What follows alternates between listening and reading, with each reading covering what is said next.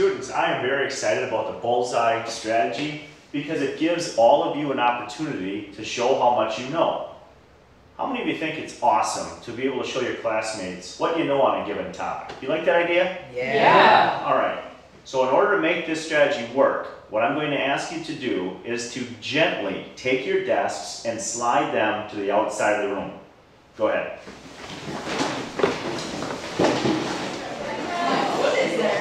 All right, all right, all right. Nice job, everybody moving the desks. Here's what I need you to do right now. This dot represents the bullseye. And I want you to form a circle, try to make it neat, around this dot. Go ahead. Just try to tighten it up a little bit. Well done. And I'm going to back myself out, and if you could just give me a little bit of space, I want to explain how this active learning strategy works. I'm going to use an integrated language arts example.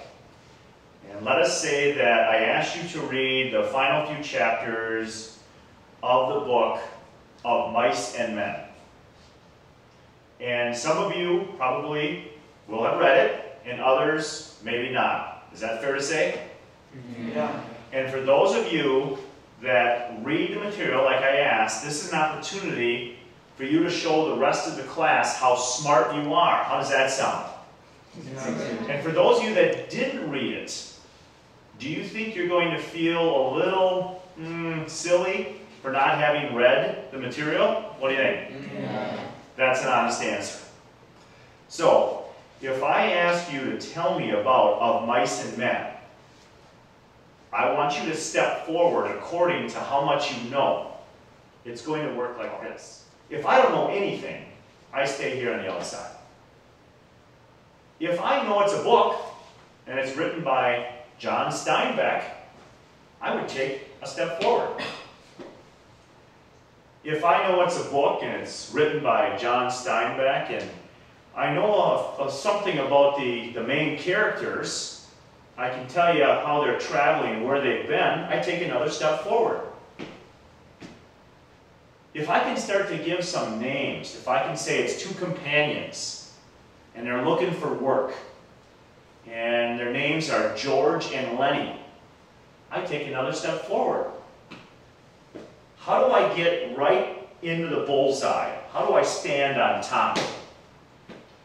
Well, you have read the final few chapters, and you can tell me that George has to make an agonizing decision. There's a lynch mob that's coming for his companion Lennie because he did something terrible. And George knows that that lynch mob is probably going to do something torturous to his companion. And so he has to make that fateful decision about ending his life humanely. And I'm not telling you that's a right or wrong decision to make.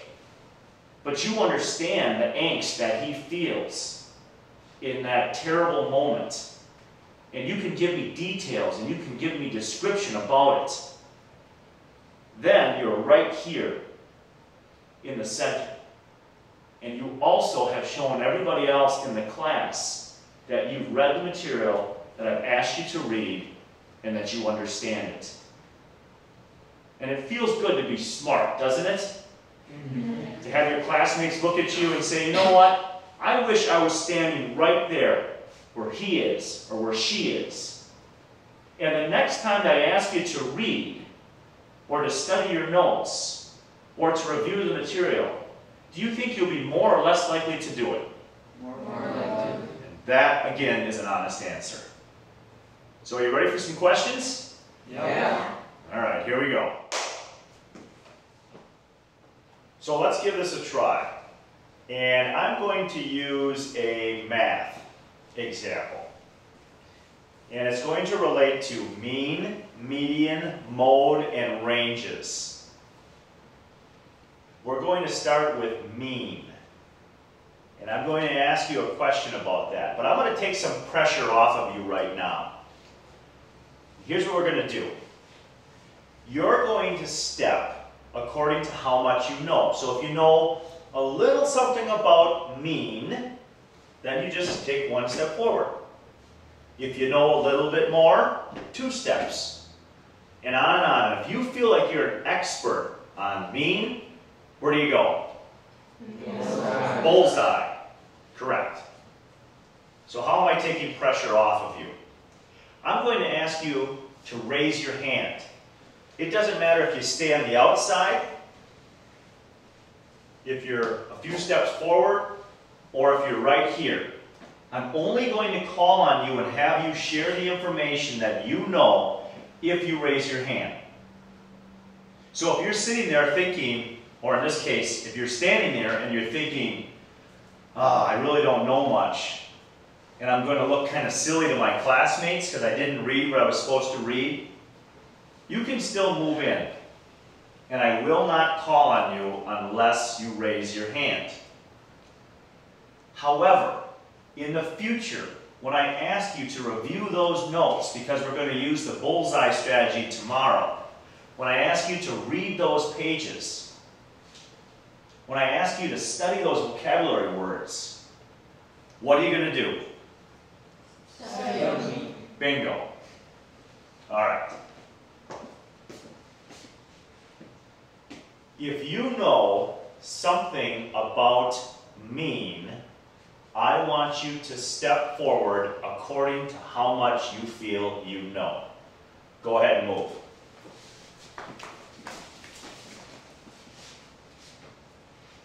All right. Now I want you to raise your hand if you're willing to share. Raise your hand if you're willing to share. Okay, I'm going to work from the outside in. Haley, what can you tell me about mean?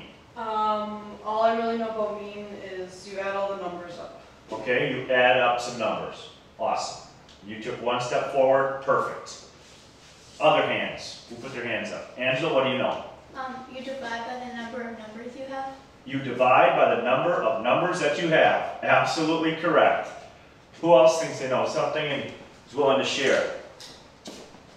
All right, Nick, what do you know? Um, it's the average of a set of numbers. Okay, the average of a set of numbers. Absolutely. And lastly, Michael, what can you tell me? Um, say you have like five numbers, you would add up those five numbers, and then you would divide those, that number by five, and it's also called an average. Okay, so you can tell me, you add up the numbers, and then you take that grand total and you divide by the number of numbers that you have. Is that right? Yep. Now you're standing right on the bullseye. Can we take that a step further? Can I give you a set of numbers? You've got to add them up in your head, Mm-hmm. and you've got to tell me what the mean is. Okay. You do it? Yep. All right. Three Okay. plus five Okay. plus six Okay. plus eight Okay. Plus 13. Okay. And what is that total? Thirty-five. 35 is correct. How many numbers did I give you? I believe five. Five is correct. You're doing better than I can do right now. And what is the mean? Seven. Is he correct? Yeah. He is correct. Let's give him a little something on that. All right, you can step back. Nice work, everyone. For our next math example, we're going to use median. Median.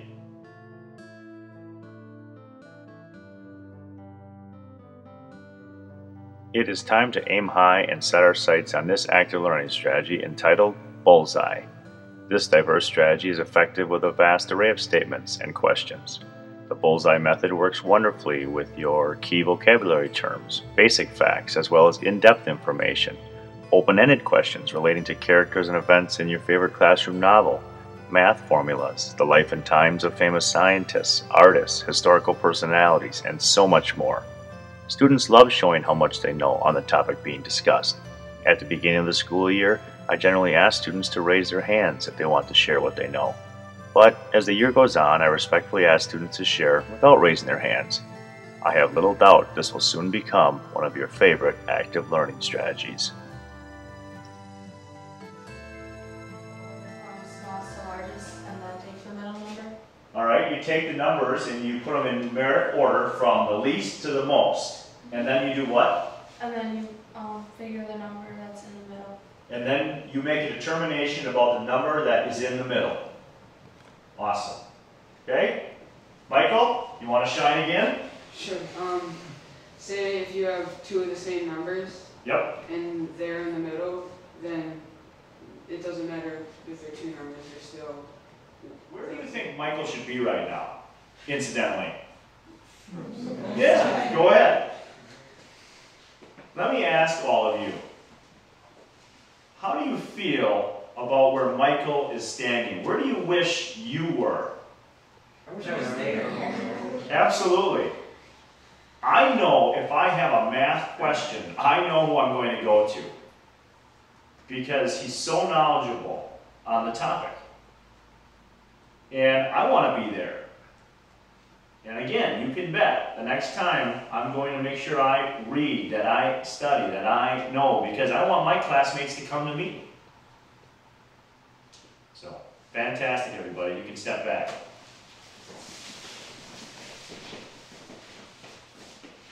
And let's do mode this time. Mode. I am generally supportive of most answers given by my students, even if I personally do not agree with them. I know if I want to increase the amount of participation within my classroom, I must be enthusiastic and encouraging. However, in an effort to challenge my students, I also feel quite justified in providing alternative insights and ideas. The bullseye strategy is exciting because I get to hear how knowledgeable my students are on any given topic. They are motivated to want to be viewed as intelligent by their classmates, and through discussion with a variety of students, I can challenge long held beliefs in a non threatening manner. You may have students generate their own questions based upon your academic content. The bullseye strategy is a wonderful method for determining how in depth you must go on any given topic or for reviewing information prior to an assessment. As always, if students do not want to participate, I use this active learning strategy anyway. I always try my best to get 100% compliance, but if it seems likely that certain students will not partake, I respectfully tell them if they should change their minds, they are more than welcome to join the circle. In addition, I let them know we'll be using this strategy again in the future, and maybe, once they see and hear how this technique works, they will be more willing to share their insights.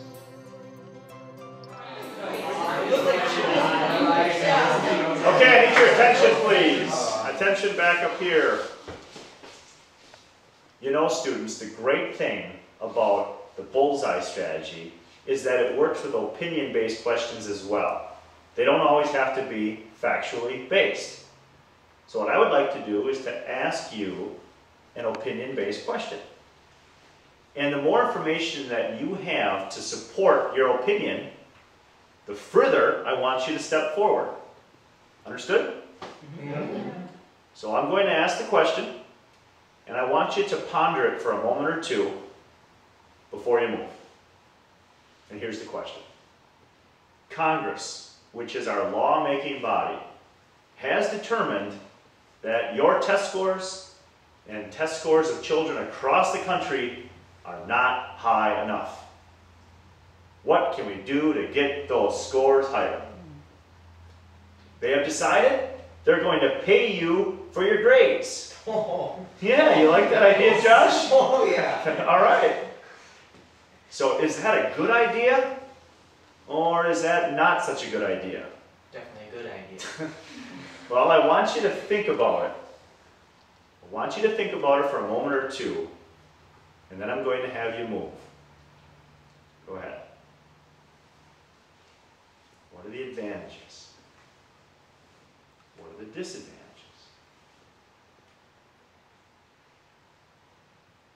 You got some ideas in your heads? Yeah. So now I want you to step forward according to the amount of information that you have to support your opinion. Go ahead and move. I recently heard about this on the news that this was happening in some places and it seems to have good results. All right, I was unaware of that. So it seems as though in some places across the country it's already happening. And if there's good results, why not extend it across the country? I like that. Now, Josh, I got to ask you because when we started this you were all enthused and you liked that idea of students being paid for grades. So why is that such a great idea? Well, I think it's a good idea for high schoolers especially because when you're in high school, you usually have to get a job to pay for car insurance and such. And well, one of the good reasons is if they pay you to get good grades, you're gonna get good grades, so therefore you're gonna have lower car insurance. And sometimes kids like to try to try to find jobs and they can't get good grades and work their job at the same time. So therefore, it's harder for them to get lower car insurance, and sometimes they have to drop out of their job. This way, they can make money and still get good grades. I like that. So if students are paid for their grades, it's going to make them more responsible citizens. That's a good answer. I think it's a bad idea because if you're studying for money and getting good grades for money, I feel it's the wrong reasons. You should be studying and trying hard and um, doing well on tests because you want to and you want to set yourself up for the future. I like that. He's talking about studying hard because it's going to put him on a good path. And that's called an intrinsic reward. You do it because in your heart you know it's the right thing to do. Excellent. Uh, other feelings on this? We all know the old adage good things come to those who wait. I'm all about patience, but there needs to be some balance. Some of our students may just wait a lifetime for something good to mysteriously fall into their laps. Maybe a more appropriate expression to instill within our students would be good things come to those who go out and make good things happen. Like you, I do not want my students to have a false sense of reality. After giving them the necessary time to ponder the requirement, activity, assignment, or some other expectation, I encourage them to begin the process of actually making it happen.